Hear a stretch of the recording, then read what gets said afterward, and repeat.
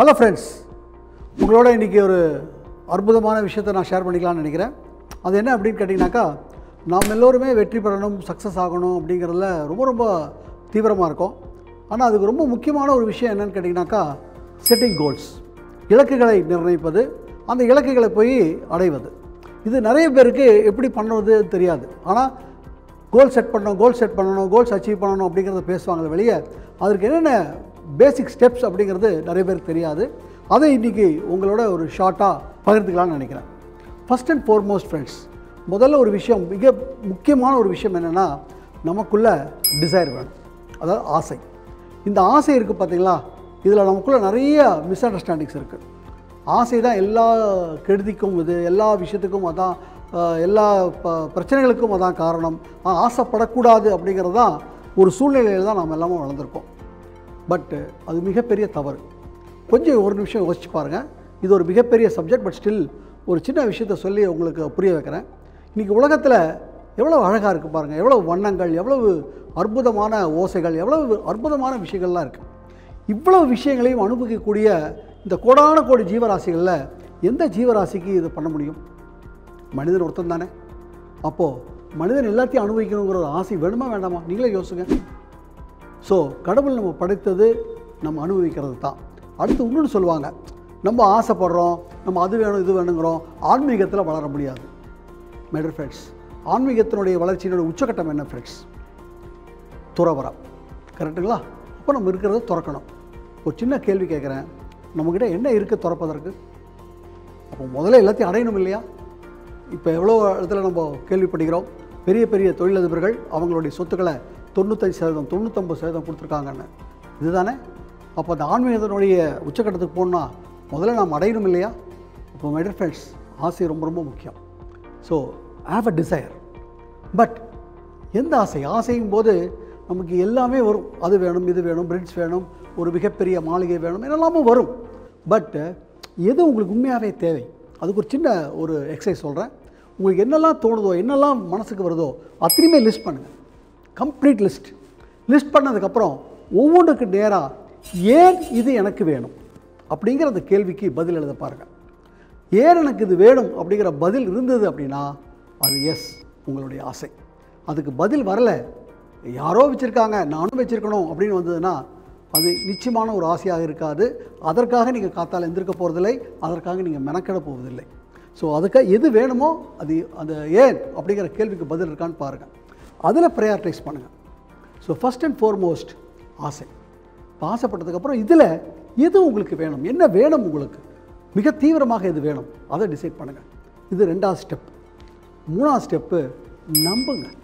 நம்ம எதை நினைக்கிறோமோ நம்ம எதை எடுத்து போ இது போகிறோமோ நிச்சயமாக அது நம்மளால் சாதிக்க முடியும் அப்படிங்கிறத பிலீவ் பண்ணுங்கள் தேர்ட் ஸ்டெப் இஸ் பிலீவிங் ஏன் இது? இப்போ சின்ன ஒரு உதாரணம் சொல்கிறேனே இப்போ நான் உங்களை கேட்குறேன். நீங்கள் அமெரிக்கா பிரசிடென்ட் ஆக முடியுமான்னு கேட்குறேன். டக்குன்னு பதில் என்ன வரும்? நான் இப்படி ஆக முடியும். I am an Indian citizen அப்படின்னு வருது. இல்லைங்களா? என்ன ஆயிடுச்சு? கம்ப்ளீட் கதவுகள் மூடிடுச்சு. இப்போ ஒரு வேலை உங்கள் மனதிற்குள்ளே ஏன் ஆக முடியாது அப்படின்னு ஒரு கேள்வி வந்துருந்ததுன்னா உங்கள் மனசு உங்கள் புத்தி என்ன சொல்லும்? நீ எப்படா இப்படி ஆக முடியும்? நீ ஒரு அமெரிக்கா சிட்டிசன் ஆக வேண்டாமா? அப்போ என்ன அர்த்தம்? நீ முதல்ல அமெரிக்கா சிட்டிசன் ஆகுன்னு சொல்லும். அடுத்த கேள்வி என்ன சொல்லும்? அமெரிக்கா சிட்டிசன் ஆனால் மாத்திரம் போதுமா? அங்கே இருக்கிற மக்களுடைய செல்வாக்கு பெற வேண்டாமா? பார்த்தீங்களா முடியும்னு உடனே பல கதவுகள் திறக்குது. முடியாது அப்படின்னா எல்லா கதவுகளும் மூடிடுது. அதனால தான் என்ட்ரி ஃபோர்ட் சொன்னார் if you think you can and if you think you can't both are right ஏன்னா நீங்கள் தான் முடிவு பண்ணுறீங்க ஸோ அதில் எதுலேயுமே ரொம்ப முக்கியமான விஷயம் யூ ஹவ் டு பிலீவ் தான் third step once you believe இப்போ உங்களுக்கு என்ன வேணும்? ஒரு உதாரணமாக எனக்கு மிக பருமனாக இருக்கிறேன் எனக்கு எடை குறையணும் அப்படின்னு ஒரு இலக்கு வச்சுருந்தீங்கன்னா இப்போ உங்கள் எடை என்ன? அது நூற்றி பத்து கிலோவா நூற்றி இருபது கிலோவா எவ்வளவு எடை? எவ்வளவுக்கு குறையணும்? ஸோ இது ஸ்டார்டிங் பாயிண்ட் தெரிஞ்சாதான் நம்மளால் டெட்லைனை ஃபிக்ஸ் பண்ண முடியும். எத்தனை நாளுக்குள்ளே? அது ஒரு சேலஞ்சிங்காக இருக்கணும். இப்போ புரியுதுங்களா?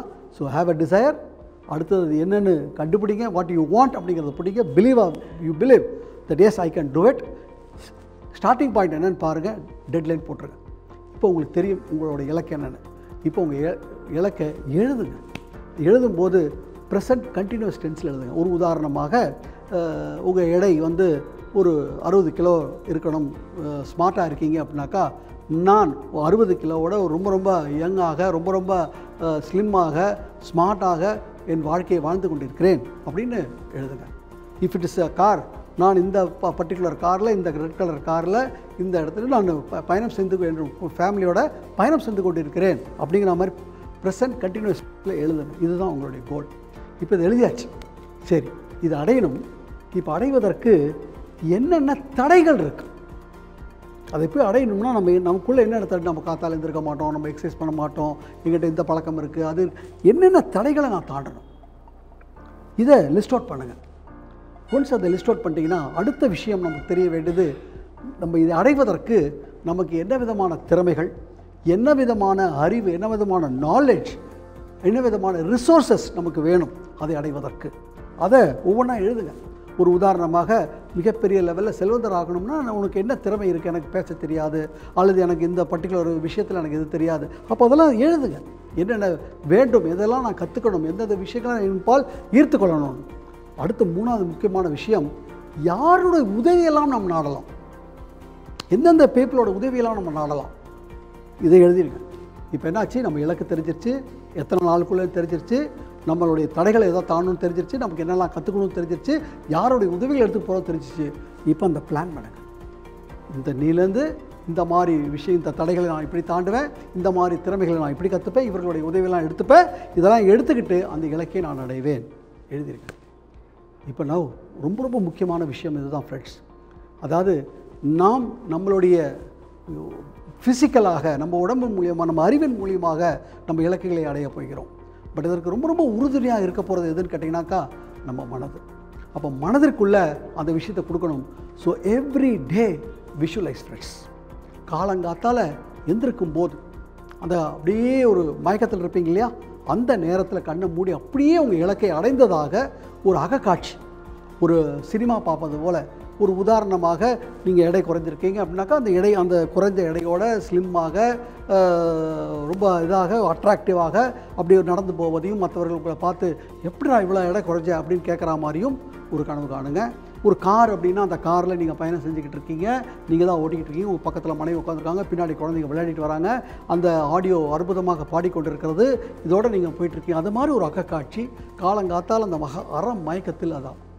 காணுங்க.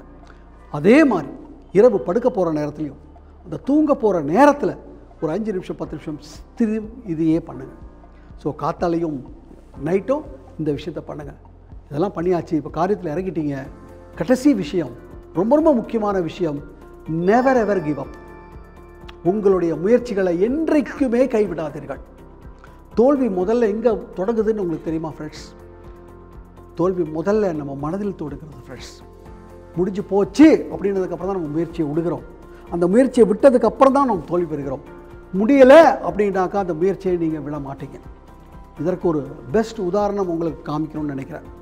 ஒரு போட்டியில் அது Olympic more or less like an Olympic போட்டி சாம்பியன்ஷிப் ஒரு எண்ணூறு மீட்டர் போட்டியில் ஒரு ஒரு பெண்மகள் ஓடிக்கொண்டிருக்கிறாள். அதுக்காக தான் பாடுபட்டிருக்கா. ஆனால் அந்த நேரத்தில் ஃபாஸ்ட்டாக தான் வந்துட்டா. ஆனால் அந்த நேரத்தில் கடைசி ரவுண்டு வரும்போது தலை குப்புற விடுறா யோசிச்சு பாருங்க. அது ஏதோ சாதாரண போட்டி இல்லை. ஒரு சாம்பியன்ஷிப் போட்டி. அதில் தலை குப்புற விழுந்தாச்சு. பின்னாடி ஓடிக்கிறவெல்லாம் முன்னாடி போயாச்சு. இப்போ என்ன நடந்திருக்கும் நம்மளாம் முடிஞ்சு போச்சுன்னு நினச்சி ஒத்துருப்போம் ஆனால் அவள் அந்த இடத்துல இருந்திருக்கிறா. திருப்பி தன் முயற்சியை தொடரா. She gets a gold medal இப்போ இதுக்கு என்ன காரணம்? மனதிற்குள்ளே முடியலை. இன்னும் நான் முடியலை. இன்னும் இருக்குது அப்படிங்கிறத எடுத்தா. அதனால தான் ஷீ ஒன் அதே தான் ஃப்ரெண்ட்ஸ் அந்த விடாமுயற்சிங்கிறது ரொம்ப ரொம்ப முக்கியம். இப்போ இந்த ஸ்டெப்ஸ் எல்லாம் கரெக்டாக ஃபாலோ பண்ணிங்கன்னா ஹண்ட்ரட் பர்சன்ட் ஒரு கோல்ஸ் கேன் பி அச்சீவ்ட் திருப்பியும் ஒரு முறை சம்மரைஸ் பண்ணுறேன் ஃபர்ஸ்ட் ஹேவ் அ டிசைர் இது ரொம்ப முக்கியம். Once you have a desire ஏன் அது வேணும்? என்ன உங்களுக்கு வேணும்? அதை கண்டுபிடிங்க. What you want and once அது தெரிஞ்சிருச்சு அப்படின்னா பிலீவ் நம்புங்க. எஸ் அது நடக்கும் அப்படிங்கிறத பரிபூர்ணமாக நம்ப ஏன்னா நம்பினாதான் கதவுகள் திறக்கும். அடுத்தது எந்த இடத்துல இருக்கும்? ஸ்டார்டிங் பாயிண்ட் என்ன? செட் தி டெட்லைன் இப்போ உங்களுக்கு தெரிஞ்சிச்சு எழுதுங்க அந்த கோலை ஒரு ப்ரெசன்ட் கண்டினியூஸ் டென்ஸில் எழுதுங்க. அதுக்கப்புறம் என்னெல்லாம் தடைகளை நான் தாண்டணும் என்னென்ன திறமைகளும் என்னென்ன விஷயங்களை நான் கற்றுக்கணும் அடுத்தது யாரோட உதவிகள்லாம் நான் எடுத்துக்கலாம். இப்போ know the plan is ready visualise regularly காத்தாலையும் நைட்டும் and never ever give up நீங்கள் நிச்சயமாக கோல்ஸ் அச்சீவ் பண்ணீங்க. And I hope this would have been very useful useful you thank thank you friends all the best God bless you